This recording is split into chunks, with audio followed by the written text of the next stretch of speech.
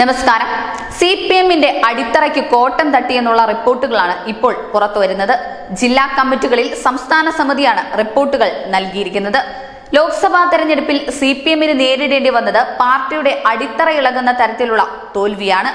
ഒരു സ്വാധീനവുമില്ലാത്ത മേഖലകളിൽ പോലും ബി ജെ പി വോട്ടുയർത്തിയെന്നത് സി പി എമ്മിനെ സംബന്ധിച്ചിടത്തോളം കനത്ത തിരിച്ചടിയാണ്. ബൂത്തിലിരിക്കാൻ ആളില്ലായിരുന്നിടത്ത് പോലും ബി ജെ പിക്ക് ലീഡുണ്ട്. സി പി എം ശക്തി കേന്ദ്രങ്ങളിൽ നിന്നുപോലും വോട്ട് ചോർച്ചയുണ്ടായി. പാർട്ടി വോട്ടുകൾ ബി ജെ പിയിലേക്ക് എത്തിയെന്നും സി പി എം വിലയിരുത്തുന്നുണ്ട്. തിരുവനന്തപുരം ജില്ലാ കമ്മിറ്റി യോഗത്തിലാണ് സംസ്ഥാന കമ്മിറ്റി അംഗീകരിച്ച അവലോകന റിപ്പോർട്ട് എം സ്വരാജ് വായിച്ചത്.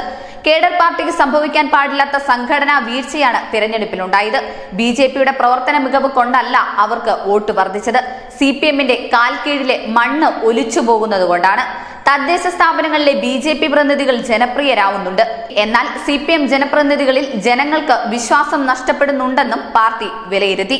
കേന്ദ്ര സർക്കാർ പണം തരാത്തതിനാലാണ് ക്ഷേമ പെൻഷൻ മുടങ്ങിയത് എന്ന് ജനങ്ങളോട് വിശദീകരിക്കാൻ പാർട്ടി പ്രവർത്തകർ താൽപര്യം കാണിച്ചില്ലെന്നാണ് മറ്റൊരു വിലയിരുത്തൽ.